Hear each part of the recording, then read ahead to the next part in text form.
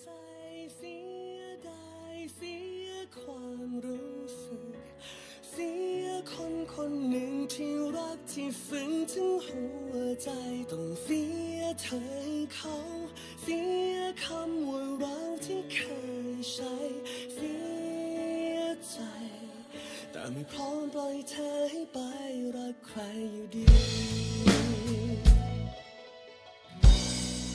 我百苦你百伤。